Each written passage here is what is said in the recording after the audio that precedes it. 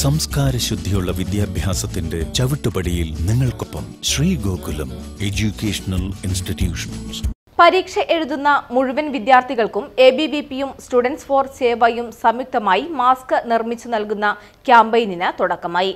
Massive mask making എന്ന പേരിൽ തുടങ്ങുന്ന ക്യാമ്പയിന്റെ ഉദ്ഘാടനം ബി സ്കൂളിൽ നടന്നു.